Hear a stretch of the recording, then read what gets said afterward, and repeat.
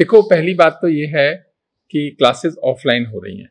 जो लोगों की क्लासेस ऑनलाइन हुई थी उनका अभी हमने मार्च में जो एग्ज़ाम हो रहे हैं वो सब हम आ, आ, जो है वो ओबीई के माध्यम से ही हो रहे हैं। अभी ये जो स्टूडेंट्स डिमांड कर रहे हैं वो वो एग्ज़ाम्स हैं जो कि मई या जून में होंगे उसकी बात है शायद ये। और उनकी तो सब क्लासेस ऑफलाइन हुई हैं। हो सकता है कहीं पे आठ दस दिन की क्लास हुई होंगी ऑनलाइन हुई होंगी और अभी स्टूडेंट्स की बहुत ज़्यादा डिमांड थी, इसलिए हमने यूनिवर्सिटी को इमीडिएटली खोला। अदरवाइज़ दस बारह दिन बाद भी खोल सकते थे यूनिवर्सिटी को। नहीं, ऐसा तो नहीं है, एक महीना से ज़्यादा हो गया। फेबररी में खुली थी। नहीं, अभी देखो, कितने स्टूडेंट दिल्ली से बाहर हैं, कितने क्लासेस में नहीं आ पा रहे हैं, ये तो एक डेटा है जो स्टडी करने की ज़रूरत है। तो इस पर जो ऑफलाइन है, देखो, जाना तो ऑफलाइन पे पढ़ने ही वाला है सबको। ऐसा तो हो नहीं सकता कि ऑनलाइन व्यवस्था ही चलती रहे। तो मैं समझता हूँ कि स्टूडेंट्स को अपना मन बना लेना चाहिए ऑफलाइन एग्ज़ाम में अपियर होने के लिए। नहीं, इसमें अंतिम तो कुछ होता नहीं है, देखो ऐसा कुछ नहीं है। लेकिन मेरे बच्चे वहाँ भूख हड़ताल पे बैठे हैं। मेरी, आपके माध्यम से उनसे मैं रिक्वेस्ट करना चाहूँगा कि भूख हड़ताल को छोड़ दो। ये ठीक नहीं है। अपना आराम से पढ़ाई कीजिए एग्ज़ाम्स की तैयारी कीजिए, आपके साथ अच्छा होगा। ये समय कोई हड़ताल करने का थोड़ी है। ये तो यूनिवर्सिटीज में पढ़ने का समय है अच्छा करने का समय है। आप अपने भविष्य की चिंता कीजिए। क्योंकि आपका भविष्य अच्छा बनेगा तो हमारे लिए उससे ज़्यादा खुशी की बात नहीं हो सकती। है यही किसी भी यूनिवर्सिटी का ध्येय होता है कि उसके बच्चों का भविष्य अच्छा बने। नहीं, ऐसा नहीं है कि वो करवा कर रहेंगे और मैं फैसला नहीं बदलूँगा। देखो, यूनिवर्सिटी जो है, उसमें सबसे ज़रूरी है हमारे अपने ये स्टूडेंट्स ये हैं तो यूनिवर्सिटी है। बिना स्टूडेंट से कोई यूनिवर्सिटी नहीं होती है। वो हैं तो हम लोग हैं टीचर्स हैं। इसलिए लेकिन उनकी मांग जो कर रहे हैं वो वास्तव में उसमें कितना तर्क है कितना उसके अंदर वास्तव में सब्सटेंस है ये देखने के लिए एग्जामिनेशन डिवीज़न है वो सारे डेटा को एनालाइज कर रही है उनकी मीटिंग्स भी स्टूडेंट्स के साथ हो रही हैं और वो उसी हिसाब से निर्णय लेते हैं आ, सारी व्यवस्था को देखते हुए। मैं तो अपील करना चाहूँगा कि क्लासेस अटेंड कीजिए हड़ताल बंद कीजिए इससे आपका भी हित नहीं है इसमें हमारा भी हित नहीं है और दिल्ली यूनिवर्सिटी का भी हित नहीं ऐसा है कि एनईपी को शायद वो बच्चे ठीक से समझ नहीं रहे या समझना चाह नहीं रहे। ये एक भारत की सरकार ने सही दिशा में लिया हुआ एक ज़रूरी कदम है। इससे शिक्षा व्यवस्था सुधरेगी और हमारे स्टूडेंट्स के इंटरेस्ट में ही होगी। हम, मैं जब कहता हूँ कि यूनिवर्सिटी स्टूडेंट्स के लिए है तो हम ऐसा कोई काम क्यों करेंगे कि उनका उसमें अहित हो? लार्जर कंटेक्स्ट में उनका आने वाले भारत को कैसे तैयार करना है? यानी कि उसकी कोई दिशा देती है। अगर हम उसको ठीक से इम्प्लीमेंट करेंगे तो स्टूडेंट्स के ये हित में है, ये सबके हित में कदम है जो उठाए जा रहे हैं। जो रह गई तीन साल की या चार साल की बात। देखो, इस तरह की कोई बात नहीं होती है। जिनको चार साल का करना है, वो चार साल करें। अगर फ़ायदा होता है नहीं तो तीन साल में तो ग्रेजुएशन मिल ही रही है। बात ये है ही नहीं। विरोध के लिए विरोध करना ये बहुत अच्छा कदम नहीं है। और आप चलने तो दें इसको जरा। चलेगी तो आपको इसके सकारात्मक परिणाम मिलेंगे। शिक्षा में किए गए कोई भी परिवर्तन इमीडिएट परिणाम नहीं देते हैं। ये धीरे धीरे देते हैं।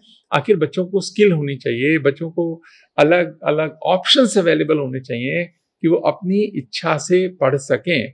और जो रटने की प्रवृत्ति है, जिसको रोट लर्निंग बोलते हैं, उसको किस तरीके से कम किया जा सके, ये सब बहुत बड़े चैलेंजेस हैं। इसके लिए बहुत सारे नए नए तरह के इंस्ट्रूमेंट्स बनाने होंगे। तो शिक्षा व्यवस्था उसमें काम करेगी। स्टूडेंट्स को भरोसा रखना चाहिए कि हम उनके लिए अच्छा ही कर रहे हैं, हम क्यों बुरा करेंगे उनके लिए? ये तो चलो भाषण के लिए बहुत अच्छी बात है मतलब भाषण देने के लिए अच्छी बात है, व्यवहार में ऐसी कोई बात नहीं। जिन बच्चों को पैसे देने में तकलीफ़ हो फ़ीस की, हम उनसे फ़ीस लेना भी नहीं चाहते हैं। हम हम ऐसी स्कीम्स यूनिवर्सिटी में हैं भी, नहीं नहीं होंगी तो बनाएँगे। हम ऐसे किसी बच्चे से, जो एजुकेशन मैं समझता हूँ दिल्ली यूनिवर्सिटी के लिए और किसी भी यूनिवर्सिटी के लिए बहुत ही शर्म की बात होगी, यदि कोई बच्चा एडमिशन हो गया और उस पर पैसे नहीं है, इस कारण वो पढ़ ना पाए।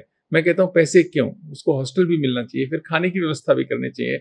आखिर बच्चे सबके साझे होते हैं, बच्चे समाज के हैं, बच्चे देश के हैं तो पैसे के कारण कोई पढ़ाई छूटेगी। मैं विश्वास दिलाता हूँ कि ऐसा कुछ होगा नहीं, लेकिन हाँ भाषण के लिए, नारों के लिए बहुत सी चीज़ें बनाई जा सकती हैं। उनका एक अपना महत्व होता होगा। मैं उस बारे में कोई टिप्पणी नहीं करना चाहूँगा। मैं ऐसा नहीं मानता कि ऐसा कुछ होगा, क्योंकि जिसको शोषित पीड़ित वर्ग कह रहे हैं, उसको आगे लाने के सारे प्रयास तो हमें करने ही हैं, और वो हमारे अपने हैं बच्चे। मैं तो इसको शोषित पीड़ित भी नहीं, ऐसी चीज़ नहीं दे, इस तरह से नहीं देखना चाहता। हर बच्चे को पढ़ने का उतना ही अधिकार है। अगर उसका पैसे से कोई लेना देना नहीं है। एक और बात बताऊँ, बहुत पढ़े लिखे बहुत पैसे वाले जो घर हैं उनके बच्चे बहुत पढ़ भी नहीं रहे हैं। ऐसा भी नहीं कि वो कोई गजब कर रहे हैं। सारा गजब जो कर रहे हैं, वो आज middle class lower middle class और लोअर क्लास के जो बच्चे हैं, जो जो कि मैं क्लास पैसे की दृष्टि से कह रहा हूँ पेरेंट्स की आमदनी की दृष्टि से, वो कितना अच्छा कर रहे हैं। जो मेहनत कर रहे हैं, वो बच्चे अच्छा कर रहे हैं। ये जो मेरिट बेस्ड सिस्टम था, इसमें एक मूलभूत खामी है, जो हमको समझनी चाहिए।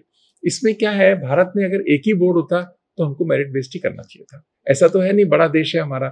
अभी क्या है, हमारे यहाँ एक सेंट्रल बोर्ड है और बहुत सारे स्टेट के अपने अपने बोर्ड्स हैं। कुछ बोर्ड बहुत स्ट्रिक्ट हैं, कुछ बोर्ड बहुत लीनियंट हैं। तो जो बोर्ड ज़्यादा मार्क्स देते हैं, उनके बच्चों के एडमिशन की प्रोबेबिलिटी ज़्यादा हो जाती है। जो बोर्ड स्ट्रिक्ट हैं, जो ज़्यादा मार्क्स नहीं देने में विश्वास करते हैं, उनके बच्चों के एडमिशन नहीं होते हैं। दोनों अपनी जगह सही हो सकते हैं। स्ट्रिक्ट होना लीनियंट होना रीजनेबल होना, ये हर बोर्ड का अपना निर्णय है। पर जब हम एडमिशन एक ही तरीके से करते हैं तो उनको नुकसान होता है। इसी कारण से आपको हैरानी होगी कि जो हमारे दिल्ली के आसपास के राज्य हैं, कई, उनके बहुत सारे बच्चों का कई बार एडमिशन भी नहीं हो पाता है। इसलिए नहीं हो पाता है कि ये नहीं कि वो एडमिशन लायक नहीं है, इसलिए कि उनका बोर्ड ज़्यादा नंबर नहीं देता है।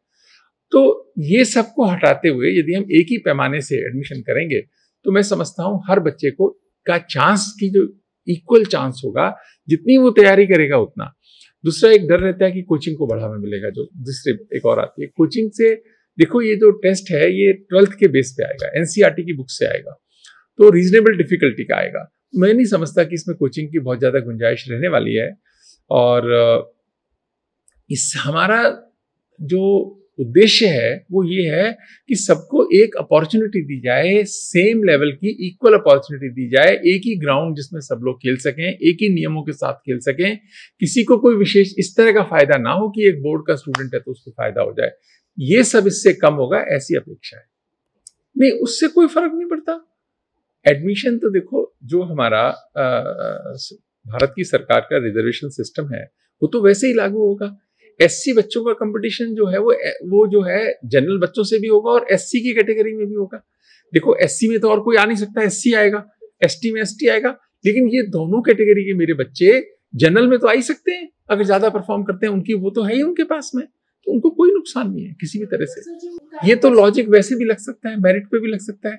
कि बारहवीं में उन हमारे बच्चों के नंबर कम आते होंगे एस सी के दूसरे बच्चों के ज़्यादा आ जाते होंगे, ये भी तो हो सकता है ना? ये तो प्रोबेबिलिटी देखो दोनों में ही रहने वाली है। टेस्ट में भी रहने वाली है और मेरिट बेस्ड में भी। लेकिन मेरिट बेस्ड में नुकसान बोर्ड किससे आ रहे हो, उससे फ़र्क डालता था। इसमें कम से कम उससे फ़र्क नहीं पड़ेगा। और ये लार्जर इंटरेस्ट में सही है। भरोसा रखिए कि इससे सब बच्चों को अच्छा ही होगा। और विरोध के लिए विरोध न करें, ऐसी मैं उम्मीद करता हूँ। नहीं एक ही बात है वो तो एक ही बात है। सब हम मिलकर ही शिक्षा की व्यवस्था को चलाने का प्रयास करते हैं क्योंकि एमफिल का क्या था कि देखिए उसको टीचिंग की जब रिक्रूटमेंट होती है वहाँ भी कोई वेटेज नहीं है उसका कोई आवश्यकता नहीं है। ऐसे ही बाकी जगह भी कोई अभी रिक्रूटमेंट में कहीं वो चेंज नहीं डालती है। और अब क्या हुआ है कि पीएचडी में पहले क्या होता था कोर्स वर्क नहीं होता था। एम होती थी सीधे पीएचडी शुरू कर देते थे। आज तो कोर्स वर्क होता है। नहीं कोर्स वर्क होता है ना आजकल तो। पीएचडी में भी तो कोर्स वर्क है तो ऐसा लगता है कि उसकी कोई खास आवश्यकता नहीं रही, इसलिए सरकार ने उसको हटाया है। दिल्ली जो हमारी कोई ग्रांट यूनिट थोड़ी कम होने जा रही है, पर जितनी पैसे पहले आते हैं, उससे ज़्यादा ही आएँगे। कोई सरकार पीछे थोड़ी हट रही है, वो तो दे ही रही है जितना दे रही है, उससे ज़्यादा दे रही है। लेकिन बच्चों को डेटा की जानकारी नहीं है ना, उनको पूरा पता नहीं है, इसलिए उनके मन में भाव आते होंगे। अब ये सारी बिल्डिंग साठ साल से ऊपर की हो गई रेनोवेशन चाहिए, नया इंफ्रास्ट्रक्चर चाहिए नई चीज़ें चाहिए डीयू के लिए। इक्कीसवीं सदी में यूनिवर्सिटी आ गई है, सौ साल हमारे पूरे हो रहे हैं। तो हमारी आवश्यकताएँ भी तो बढ़ी हैं और बदली हैं। और बिल्डिंग्स अगर हम इनको देखभाल ठीक से नहीं करेंगे, इनको तो ये तो बहुत जर्जर हालत में आ जाएँगी। इन सबके लिए पैसे की आवश्यकता तो है ही ना। तो उस पैसे की आवश्यकता के लिए हमने एक माध्यम उसको चुना है। भारत की सरकार का जो हीफा का है, और मैं समझता हूँ कोई भी सरकार इससे अच्छा सिस्टम नहीं बना सकती जो हीफा बनाया है। सबको जानकारी नहीं है। मेरी रिक्वेस्ट है कि उसकी पूरी जानकारी लें तो आपको लगेगा काश ही हमें भी मिल पाता। इतना अच्छी स्कीम है हीफा नहीं नहीं मैं कोई रिज़ल्ट नहीं निकालूँगा। ये तो एग्जामिनेशन डिवीज़न और जो है विचार कर कर रहे हैं। नहीं आखिरी तो मैं कुछ भी नहीं आखिरी कुछ होता नहीं डेमोक्रेसी के अंदर। मैं ऐसा मानता हूँ कि ओबीई अब का एग्ज़ाम की आवश्यकता नहीं है हमको ट्रेडिशनल सिस्टम पे आ जाना चाहिए, जैसे चलता था वैसे चलाने की तरफ़ हमें बढ़ना चाहिए, बच्चों को इसका मन बनाना चाहिए।